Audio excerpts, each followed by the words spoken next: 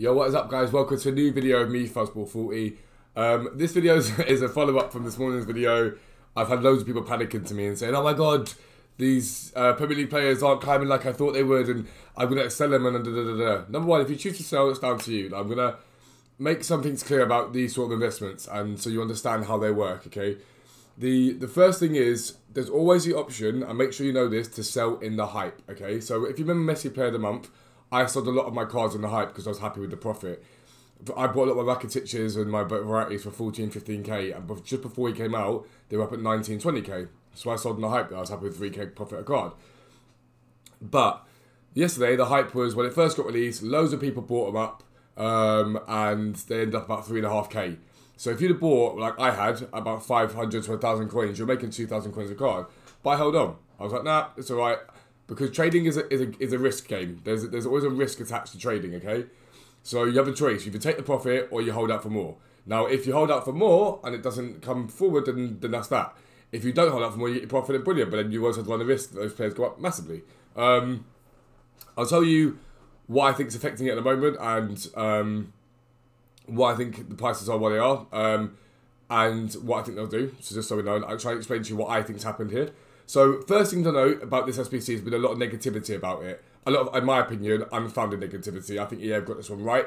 Um, I think the Meyer card, I showed it yesterday in the, in, the, in the, morning video, I think it's very good. When the Serie A came out, everyone was slacking off the Serie A. Tonali was terrible, blah, blah, blah, blah. People started using Tonali it was like, oh my god, this card's incredible. And then suddenly it was a slow burner and people picked up, picked up, picked up. And over the course of a week or two, the Serie A SBC got massively, massively popular. People loved doing it. It was really good, and, and suddenly that, that's what happened. There's a lot of negativity, un- unfair negativity, in my opinion. What everyone said to EA, we want you to start giving these random players boosts rather than the same guys every day. When we had the Renato Sanches Footless SBC, everyone was like using the same cards. EA then go and give a Crystal Palace centre mid a ridiculous boost and a Tottenham centre back a ridiculous boost with strong links to Scream Otamendi, and people are still complaining. You cannot have it both ways. You, have got you've got you've got a choice here, and in my opinion, you, you need to either accept that it's going to be that or not. And also remember, the players are 84 rated because EA are trying to stop people doing the grind. That I don't agree with. I think it's bang out of order. But that's why why EA are doing the uh, SBCs the way they're doing the SBCs. That that's just it. That's what they're doing. There's nothing you can do about it. But there's a lot of negativity about it.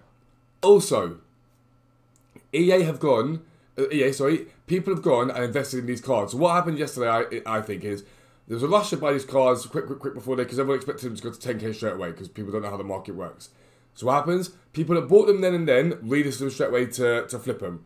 People who had already invested them then panicked and listed them on the market, and the supply was not outweighing demand. But I will say, yesterday when I went to bed, I checked the market, and Sheffield United strikers, for example, were about one, just over okay.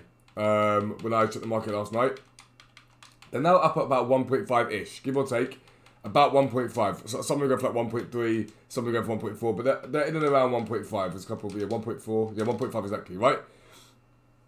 That's 500 coins up, okay, overnight. So that's that.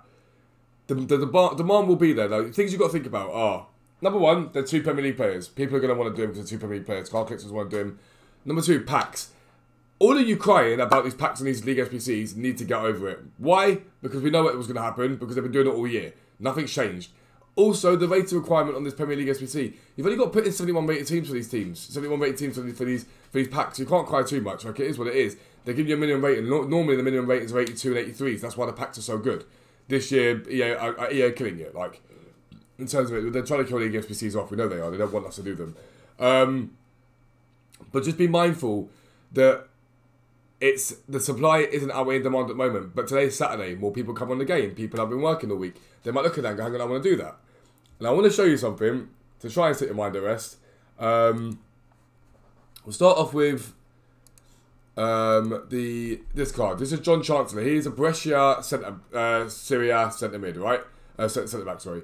Um, everyone knows, watch my videos, I trade with Brescia Silvers all the time. I make 2, 3k a card. This guy here, I'm going to show you his price point. This was the day before he got released onto, onto the market. It was 800 coins, right? The day the SBC dropped, he was at 1.9k. So that's the day the day after, sorry. So dropped, SBC dropped to the 25th. He was at 1.9k the next day. Similar to these guys.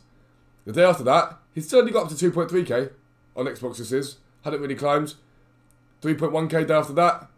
It wasn't until nigh on a week later that he reached sort of peak where he was going to be. Let's go to there. That's me. It's sold out. Let's just try. There's one that there. Peak where he realistically is. I know there's a big green spike on that map. It's a, it's a rarity that he gets that high. Between 8 to 10k is usually his, his price.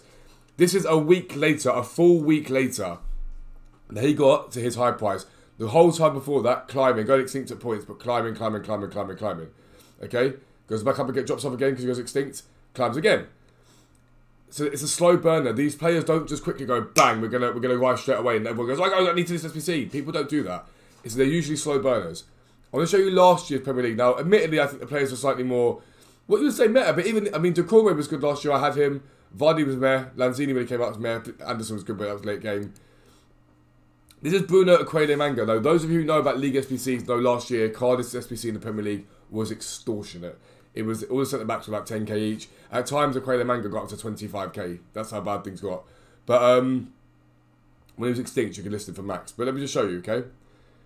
So before his SBC gets released, about 500 coins, and the day's SBC gets released, which is the 15th, the 14th, sorry, ignore me, 15th, no, it was the 15th.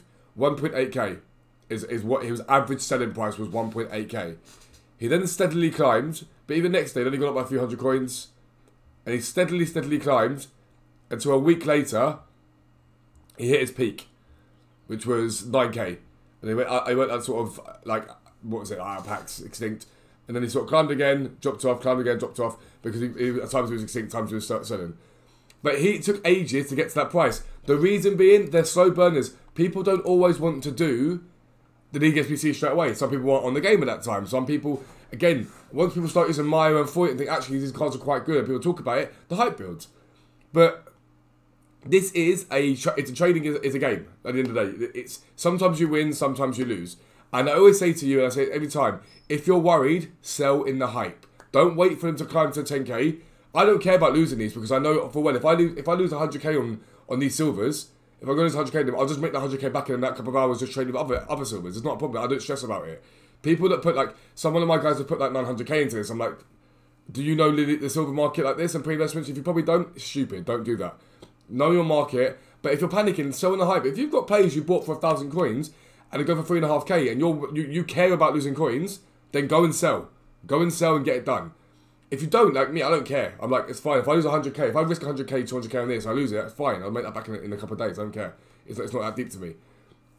But I and do that. My belief is that the prices will start to slowly climb. People will start to do the SBCs. They'll start to go up. Also, remember, when people did this SBC as well, loads of silver cards come onto the market. So it crashes the price as well. Because these Premier League SBC players come onto the market themselves and they drop the market. And the market collapses. Again, last night I looked before I went to bed. Sheffield United was 11k to do. On Futbin, now it's 14k to do. Which means there's been some rise. Full stop. But you just got to be mindful of it and think, okay, cool. What's affecting the market? What can I do? Do I sell now if I'm happy with profit or do I wait? I'm waiting. That's my opinion. I'm just going to wait and see what happens. I don't care about losing. Like, again, I can make these coins back. It's not a problem to me. You've got to make a decision yourself. It's got to be a, a flash decision you make yourself as to what you do. But I'm going to hold. History has told us that usually it goes up in price, and if it doesn't, it doesn't. It's life, man. There's not there's nothing you can do about that. But that's going to be the end of the video. Hopefully, it's explained a bit to you and make sure you understand exactly where we're at and what we're doing. Um, but again, if you did like it, please drop a like down below. Subscribe if you're new around here. But for now, that's I'm out. Peace out. Speak later.